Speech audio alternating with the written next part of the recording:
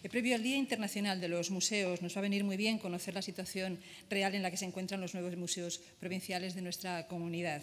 Con motivo de la celebración habrá una programación especial, 101 acciones, creo que anuncia la Consejería.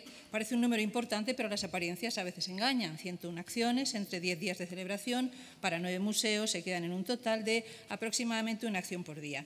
No es mucho, pero la cantidad no debe ser el objetivo. Sí debe serlo la calidad. Están previstos talleres de pintura o cerámica. Nos gustaría saber si taller de pintura consiste en poner a los niños a jugar con pinturas de dedo o por el contrario se les hará un recorrido práctico por las diferentes técnicas pictóricas. Esto es solo un ejemplo.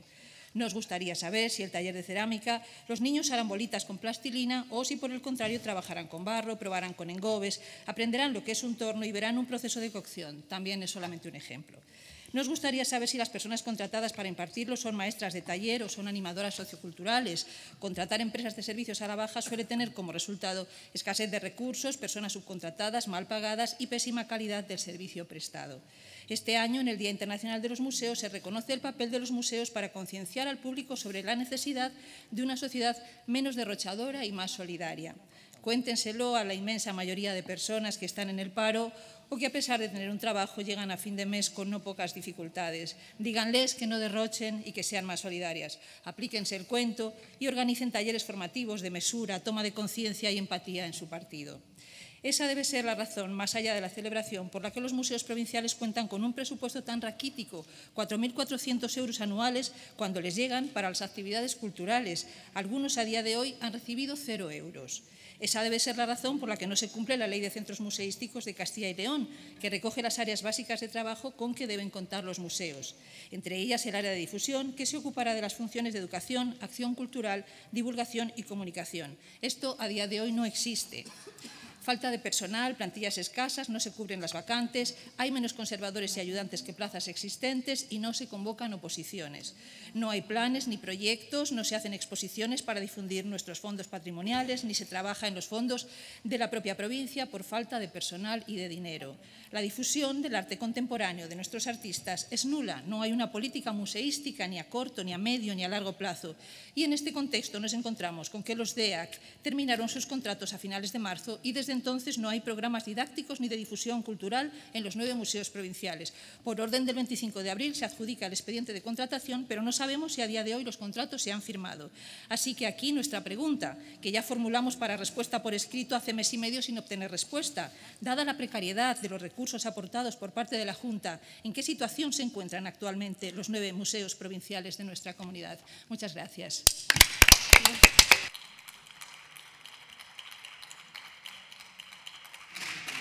Para contestar, tiene la palabra la consejera de Cultura y Turismo.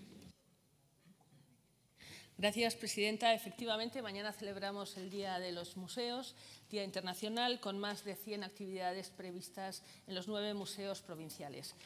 Una celebración que no se circunscribe tan solo a la fecha que, señalamos, sino que se encuadra dentro de un programa amplio de actividades que se desarrolla a lo largo de todo el año.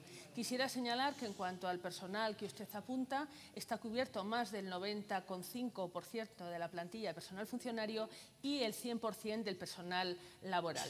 Contamos en nuestros museos provinciales con unos magníficos profesionales que desarrollan su trabajo eh, en cumplimiento de la Ley de Centros Museísticos, una ley que preveía como una de las principales finalidades el adecuar precisamente los contenidos de los centros y facilitar su, comprensión, aprovechamiento y disfrute, para lo cual surgieron los programas de difusión cultural y programas didácticos. Efectivamente, como usted apunta, el programa realizado a través de contratos de servicios por personal eh, especializado finalizó en marzo del 2016 y en base al nuevo contrato de fecha 25 de abril puedo decirle que a principios de junio este personal especializado comenzará a prestar sus actividades. Quiero señalar también que no se ha suspendido esa difusión cultural, no se ha eh, interrumpido en los museos, porque gracias a Dios contamos con el personal y, profesional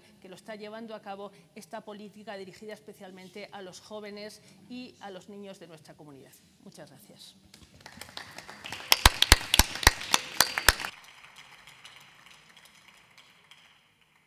Para un breve turno de réplica tiene la palabra la señora Rodríguez Tobal. Tiene cuatro segundos.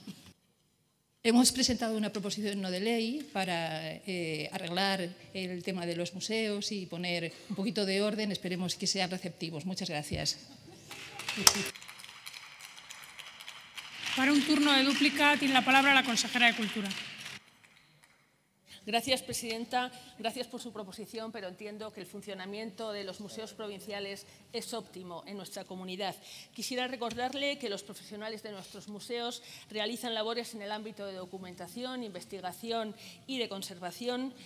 También avanzamos en la difusión de nuestro patrimonio, de nuestros bienes culturales depositados en los museos, difusión que se hace a través de las nuevas tecnologías, a través del portal de museos, difusión que se hace a través de exposiciones permanentes, difusión que se hace a través de exposiciones programadas eh, como pueden ser las de la pieza del mes. En definitiva, estamos avanzando también en que nuestros centros culturales, nuestros museos sean centros culturales activos donde se desarrollan conciertos, donde se desarrollan estas a las que hacía referencia y diversos talleres para niños y para escolares el amplio programa didáctico del cual se benefician eh, en, los últimos, eh, en la última legislatura 320.000 niños y jóvenes de nuestra comunidad es otro ejemplo de la vitalidad de nuestros museos. Programas que estamos poniendo en marcha, como el programa Tu Museo Te Va, intenta acercar lo que tenemos en nuestros museos a colectivos